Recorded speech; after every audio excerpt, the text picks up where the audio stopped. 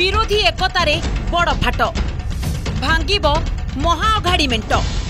କଂଗ୍ରେସକୁ ପାୱାର ପରିବାରର କାଉଣ୍ଟର ଏକାଠି ହେବା ପୂର୍ବରୁ ବିଦ୍ରୋହ ଫିବର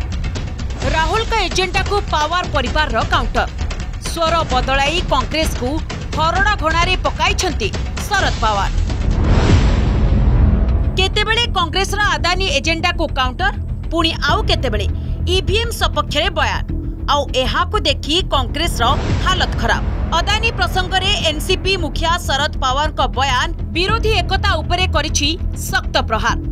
ଅଦାନୀ ପ୍ରସଙ୍ଗରେ ଜେପିସି ଜେପିସି ରାଗ ଗାଉଥିବା ବିରୋଧୀଙ୍କୁ ଜବାବ ଦେଇଥିଲେ ଶରଦ ପାୱାର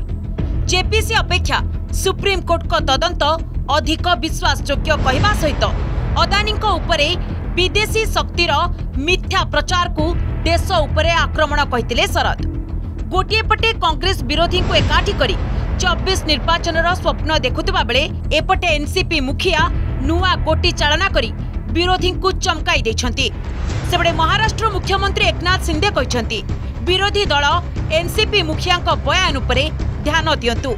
କଂଗ୍ରେସ ଏବଂ ଉଦ୍ଧବଙ୍କ ଶିବସେନାକୁ ଲକ୍ଷ୍ୟ କରି ଶରଦ ଏଭଳି ବୟାନ ଦେଇଥିବା କହିଛନ୍ତି ଏକନାଥ ସିନ୍ଦେ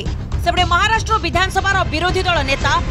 एनसीपी नेता अजित पावार स्वर हटात प्रधानमंत्री नरेंद्र मोदी प्रशंसा उठिति बिवाद र मूल्य कि नै पनि अजित को क्लीन कु दे विरोधी दल टार्गेट परोक्ष